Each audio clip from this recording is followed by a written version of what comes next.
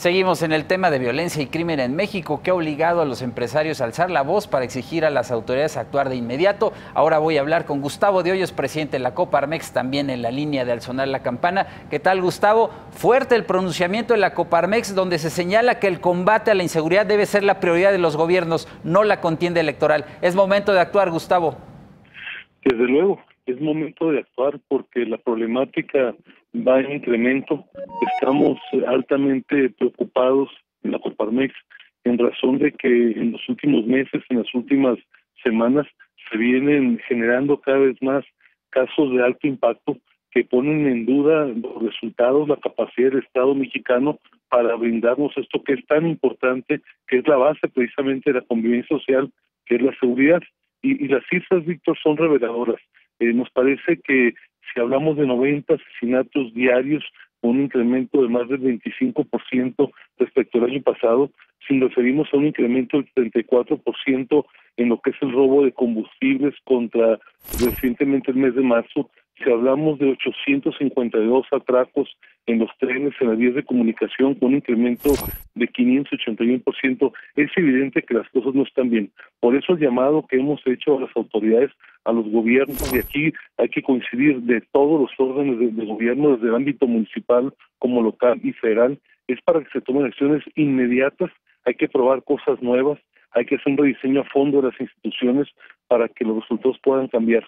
Esto está llegando a tal dimensión que no solamente está trastocando la convivencia cotidiana de los ciudadanos en las ciudades, está afectando también actividades que dan solidez a la convivencia democrática, como es, por ejemplo, el asesinato de candidatos y de periodistas, y desde luego está afectando también la competitividad empresarial.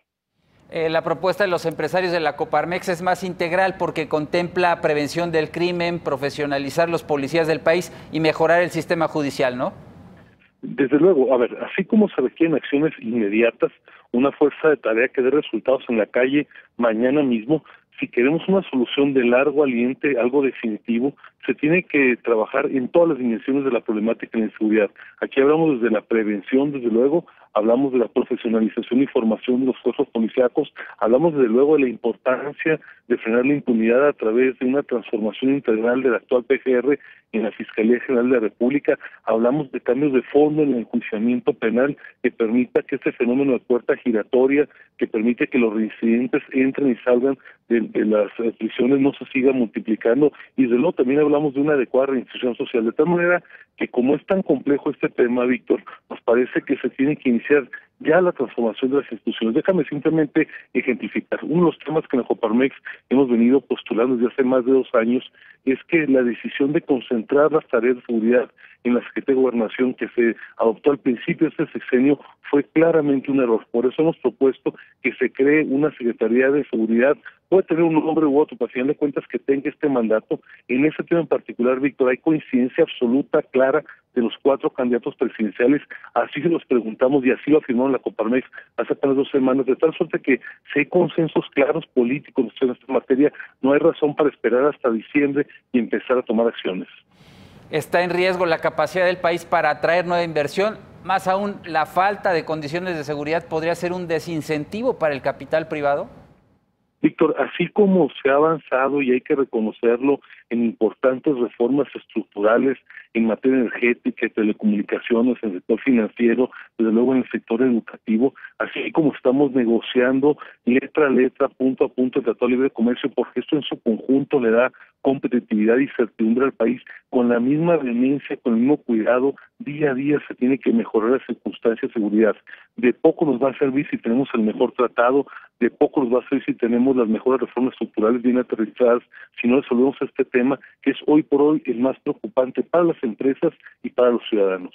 Eh, lo pregunté antes a Juan Pablo Castañón, pero me gustaría conocer tu opinión. Un Estado que no puede proteger a sus ciudadanos es un Estado fallido. ¿Corremos ese riesgo? El pacto social parte de la premisa de que los ciudadanos renunciamos a parte de nuestra libertad y se la transferimos al Estado a cambio de seguridad. Si un Estado no cumple con ese mandato primario que es previo incluso al cumplimiento de otros deberes sociales, está fallando con su responsabilidad.